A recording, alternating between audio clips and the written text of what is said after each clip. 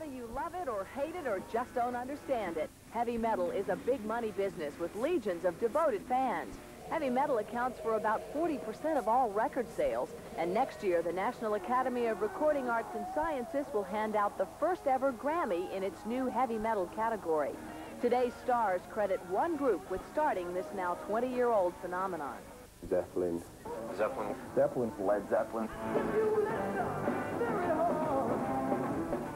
Jimmy Page formed the group Led Zeppelin, which blended raw sexuality with riffing, the repetition of just a few notes at tremendous volumes. Zeppelin took its fans where no band had gone before. Energy we were putting out obviously touched with other people.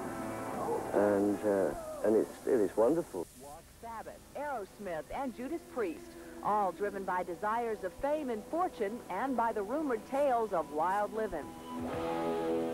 There was a lot of debauchery and there was a lot of people going over the top. And I know that today there are, it's always going to be the case. We may kid around about it, but make no mistake about it, that's the reason we started doing this, and that's still the reason we're doing it today. Girls and lingerie. Towards the end of the 70s, heavy metal's popularity lessened, overshadowed by disco and punk rock. Groups like Zeppelin and Aerosmith disbanded, and except for the occasional successes of groups like Van Halen or Rush, heavy metal all but disappeared from the spotlight until...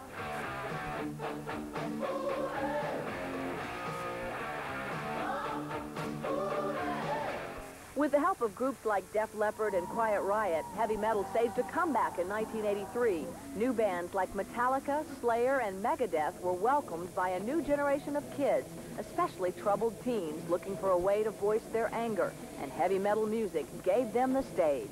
With kids growing up and hitting puberty, there are all those hormones, and sex drives a lot of this, and the need for power.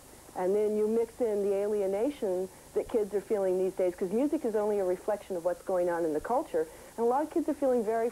While filming the heavy metal documentary, The Decline of Western Civilization Part 2, The Metal Years, director Penelope Spheeris got to observe forms of self-expression from today's youth firsthand, stage diving and slam dancing. Parents of America, you should be thrilled that there are concerts where these kids can get this energy out in a in a healthy way. Because if they were out on the street with this kind of energy, trying to get it out on the guy walking by, it would be mayhem out there.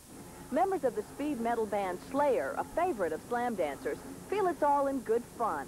They have a good time and they get, and they get, you know, they get it all out of the system. Yeah. They just go out there, they have a blast, they run around, they do, you know, have fun, jump around, whatever. But the music is controversial. The focus of the conflict, the lyrics. The songs deal with death, drugs, and sex, and are often tinged with satanic references. Opponents want the music banned, and in some places, record burnings are held in protest. There's nothing to be afraid of if you're a parent. If you like Megadeth, if they would look into the lyrics. We have delved into a lot of different issues, not only political, but religious, And family, everything. His mother's even sitting upstairs right now as we speak. But the kids love parents' disapproval and many of today's youth admire and almost idolize these musicians.